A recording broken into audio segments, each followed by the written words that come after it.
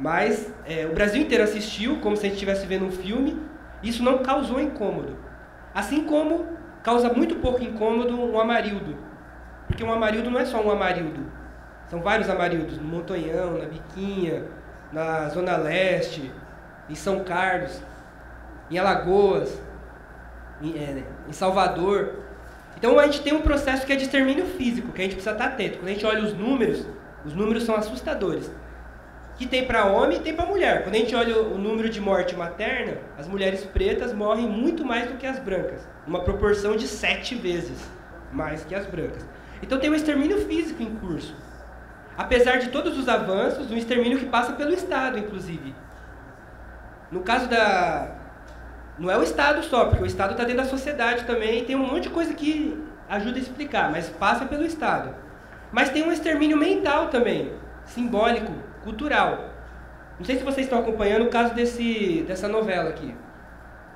Que é, a, uma parte da, da classe média reclamou que não gostou da aparência do, do menininho na novela. E aí o autor, também para causar polêmica, polêmica gera audiência, todo mundo do movimento negro agora vai acompanhar a novela para saber. Também tem um joguinho aí. Mas o fato é que o autor prometeu mudar o cabelo do menino, que além de ser menino adotado negro, vocês sabem que tem um problema em relação à adoção de crianças negras, principalmente de crianças que não são mais bebezinhas. É, o menino aparece com um black e aí tem esse black causa uma rejeição na tal da opinião pública, que ninguém sabe quem é, esse, quem é essa pessoa. É, e aí o autor da novela promete mudar o cabelo do menino, porque assim está muito agressivo. Então, olha que interessante. A gente está numa sociedade que mudou. É, é inegável a gente dizer que a sociedade mudou. É, a gente não pode negar que a sociedade mudou. A gente tem mais negro nos outdoors, a gente tem mais negro na, na, nos meios de comunicação, nas propagandas, nas políticas públicas. Mas é importante pensar o quanto que, é, apesar dessa luta, isso é conquista, é na, na pressão, na articulação. Teve que ter passeata, tem que ter gente brigando, tem que ter gente apontando a cara tem que ter modelo negro é, fazendo protesto em Fashion Week. Tem um monte de coisa aqui que faz, que movimenta esse processo. Mas apesar dele, também o racismo ele vai se reconfigurando. Então esse é um ponto para a gente pensar. Um outro ponto é que é, há, por outro lado, uma reafirmação dos espaços raciais de poder. Por exemplo, teve muito pouca crítica ao fato do ProUni ter um olhar racial. Que o ProUni promoveu a inserção de muita gente nas universidades. Mas o ProUni ainda é a faculdade privada, que no Brasil está abaixo da pública. Quando o debate racial vai para a pública, para as cotas, cotas é disputa no espaço que até ontem, até hoje ainda é da elite. Aí o bicho pega. Não houveram tantas críticas, no caso do ProUni, é, as críticas passaram por outros elementos mais econômicos. Ninguém discutiu o fato do ProUni ter também um recorte racial. Agora, quando esse recorte racial tem a ver com poder, espaço de poder, é, poder da elite, aí o bicho pega. Então, tem um movimento aqui que é contraditório. Eu estou propondo aqui para a gente pensar na encruzilhada. Porque é isso, é igual um jogo de capoeira.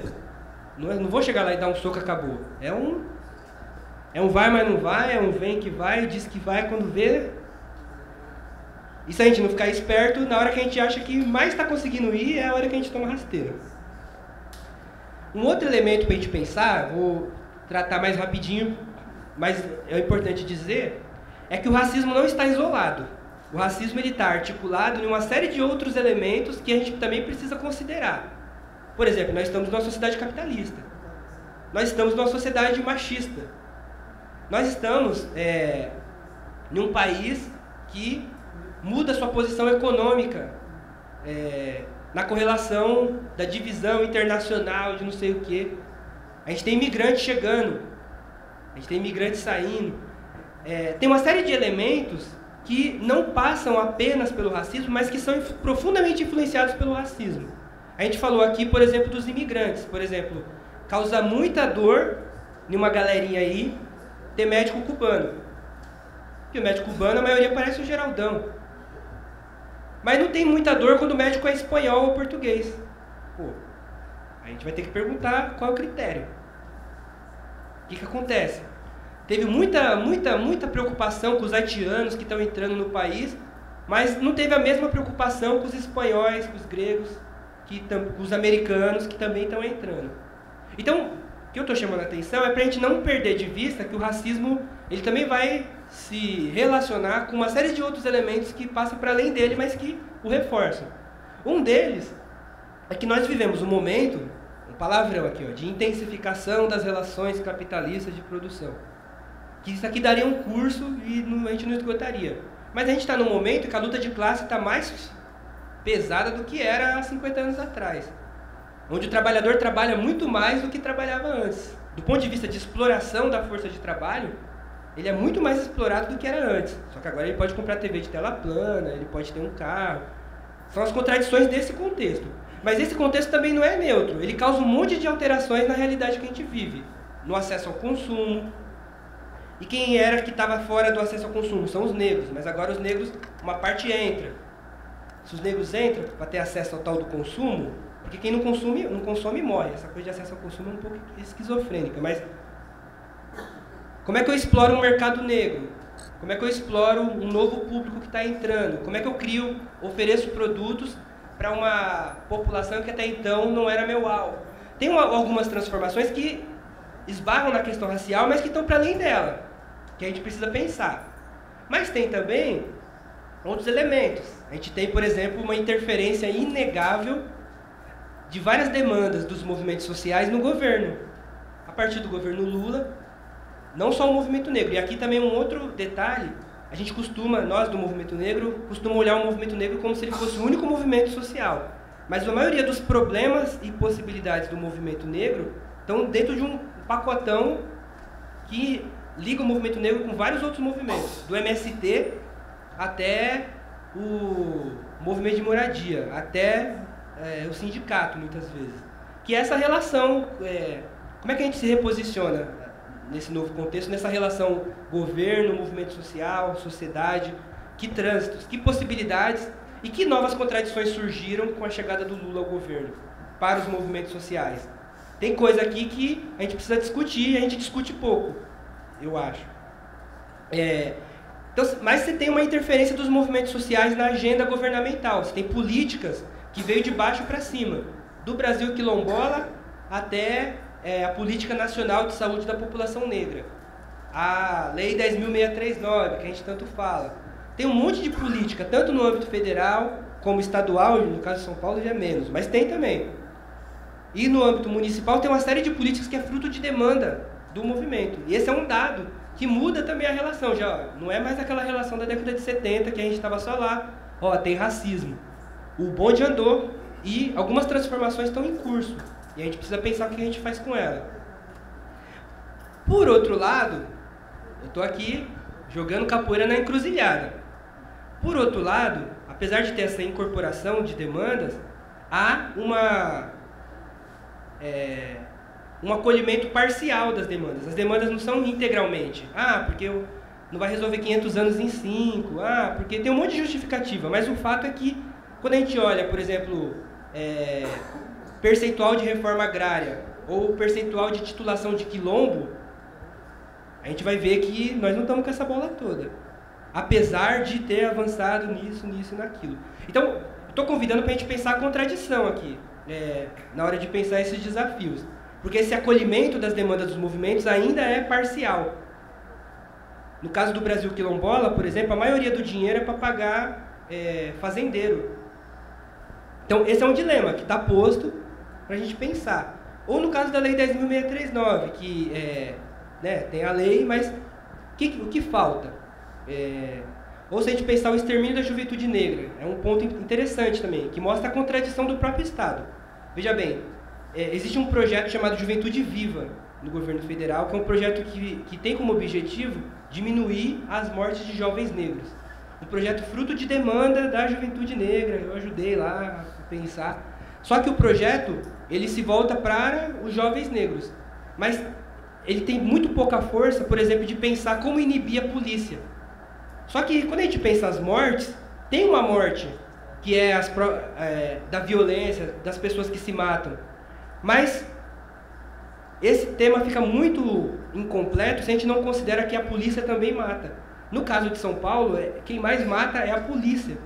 Então, tem uma política voltada para a redução do extermínio, mas ela esbarra em várias coisas. Por exemplo, na característica militar da polícia. Como é que a gente pode pensar um controle social da polícia se a polícia é militar? Para além disso, você tem um governo federal, mas a polícia ela tem um tipo de descentralização que impede uma secretaria de segurança pública, por exemplo, chegar na, na, na polícia militar e falar faz isso, faz aquilo. Então tem um monte de dilema que não é, que não passa, repito aqui, na contradição, na encruzilhada. Tem um monte de dilema que perpassa o racismo, mas não se resume a ele e que a gente precisa considerar para pensar os nossos desafios.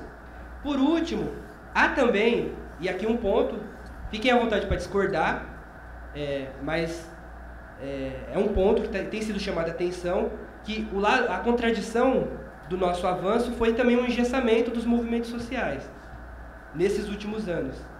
Porque há um processo de construção colaborativa, mas quando chega o limite do processo, quando chega a hora de bater, como é que a gente vai bater em quem a gente construiu junto? Do ponto de vista de governos populares, democráticos, esquerda. Esse é um dilema que a gente precisa lidar, que não é só do movimento negro, é, que, mas que está presente como um desafio para a gente. É, bom, vou passar aqui para a gente seguir. Dito isso, uma análise bem pífia, podre, é, pequena, de conjuntura, é, queria apontar alguns desafios para a gente pensar, né? O primeiro de todos é esse aqui, ó. Esse aqui é, acho que é o desafio maior que está colocado para a gente que é numa dimensão mais filosófica. Então, a política é passível de divergência e o movimento negro não está isento disso. Estava indo bem até aí. tá vendo? Tem companheiros valorosos, pessoas inteligentes que discordam de algumas verdades. Mas olha que interessante. Assim como a gente diverge com o time, muitas vezes a gente também diverge em relação aos rumos. Às vezes a gente diverge em relação a, a em quem a gente vai votar. Às vezes a gente diverge em relação a o que, que eu acho tem um problema aqui, como que resolve o problema? Às vezes o Calazans quer resolver mais para cá, eu quero mais para cá. Isso é do ser humano, não é só o movimento negro que tem divergência. Ah, mas vocês são rachados, vocês não se unem entre si. Mas quem se une? A gente se une quando a gente acha um projeto comum. O problema é que a elite, a burguesia, o racismo tem se unido contra nós, mas eles também têm um racha entre eles. Não vamos achar que é só nós que temos racha entre nós. Agora, o problema é que esses rachas têm dificultado a gente criar projetos comuns, e isso nos enfraquece. E esse é um desafio. É, se a gente olhar, repito, da década de 70 para cá, muita coisa aconteceu. A nossa luta, organizada ou não, a nossa luta, consciente ou não, provocou um monte de ruptura. Desde o movimento lá do. De, de, desde os negros dentro do partido, os negros no sindicato, até os negros na igreja, até os brancos que falou, pô, é verdade, vou lá junto, até é, a mãe negra que, quando o policial está abordando o filho, vai lá e vai lá defender o filho. Você tem um processo que é do cotidiano ao mais geralzão que provocou um monte de mudança. Então a gente está, por mais que o racismo continua, o mito da democracia racial o retorno de quem nunca foi, a gente está num momento que exige que a gente faça novas avaliações para discutir quais, quais são os próximos passos. Essa é uma pergunta que o movimento negro tem que se fazer. É uma pergunta que nós temos que nos fazer. Vai acabar o curso, e aí? Quais são os próximos passos? Porque se a gente não se planeja, a gente fica objeto do, de quem se planejou. E geralmente os nossos inimigos se planejam para 30, 40, 50 anos. Aliás, quando a gente olha os textos do Silvio Romero, que é um pensador da elite brasileira do começo do século XX, ele estava calculando, ó, imagino que daqui três gerações não vai ter mais nenhum negro no Brasil. Olha o projeto dos caras, mano. É um projeto para três gerações, para 100 anos. A gente precisa fazer projeto. A gente fazer projeto não é só né, o projetinho para captar recursos. A gente precisa sentar para discutir. Bom, diante de tudo que a gente conseguiu avançar, o que, que a gente faz agora? Quais são os próximos passos? É colocar a molecada na faculdade? A gente teve um exemplo muito legal aqui é, de um filho do sindicalista que está entrando na faculdade tecnológica. Esse é um ponto. Os negros, por exemplo, hoje, que conseguiram furar a barreira educacional, eles estão nas áreas das humanas. Se a gente fazer a revolução amanhã, vai ter que chamar os brancos para assumir os cargos de poder, enquanto a gente vai ficar aqui filosofando. Vocês sabem da Revolução Russa? Tem uma, uma curiosidade, né? Quando os caras fizeram a Revolução lá em 17, tiveram que chamar parte da burguesia antirrevolucionária para assumir os cargos de gestão, porque os trabalhadores não tinham acesso à escolarização, não tinham acesso a conhecimento técnico. Então, um desafio para a gente, por exemplo, é ter mais negro nas áreas das exatas, por exemplo. É uma missão revolucionária. Mas, para além disso, é, quais são os próximos passos? E aí, isso tem que ser discutido, isso tem que ser pensado a partir da nossa realidade. Então, uma provocação para nós enquanto movimento é que a gente precisa sentar para discutir. Mesmo que haja divergências, rachas, mas a gente precisa sentar para discutir. Né? E para pensar, o que, em que avançamos? Tem um monte de coisa que a gente avançou. Um monte. E a gente precisa considerar isso, porque... Então tem uma frase que eu também digo ela. Pô, estamos há 10 anos da lei e não aconteceu nada. Cuidado, porque não é verdade. Aconteceu um monte de coisa. O problema é que o racismo ainda barra, ainda impede que essas conquistas avancem de fato. O que significa que a gente vai ter que colocar força ali ou acular. Mas que não aconteceu nada não é verdade. Tanto que a gente tem os sindicatos metalúrgicos é, se empenhando num curso para fazer esse debate. Isso já é um sinal. Ah, mas o sindicato está ligado aos movimentos sociais. Beleza. Mas a gente tem, ao mesmo tempo, é, uma série de iniciativas pontuais espalhadas pelo Brasil de professores que foram sensibilizados.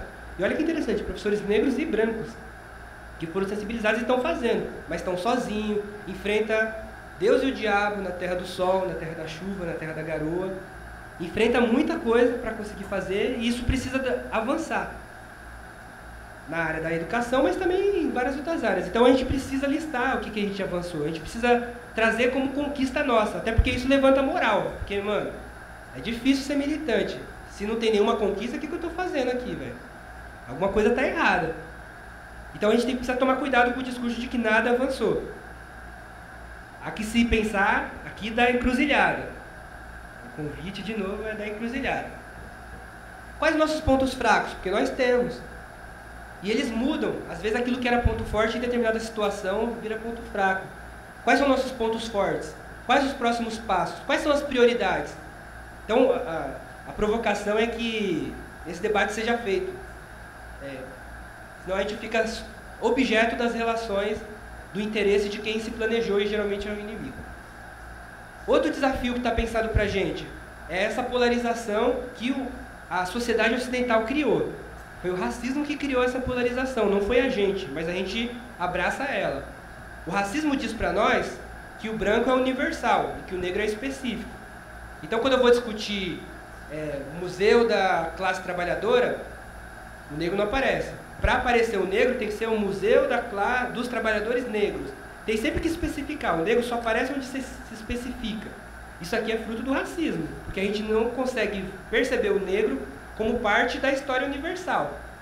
Então, um desafio para a gente é quebrar essa barreira do universal específico, porque nós também reproduzimos ela. Tem muito militante que só vai num debate de educação se tiver educação específico para as relações raciais. Se tiver só educação, ah não, não vou não. Vai no debate de saúde, se for saúde da população negra. Mas se for só saúde, ah não.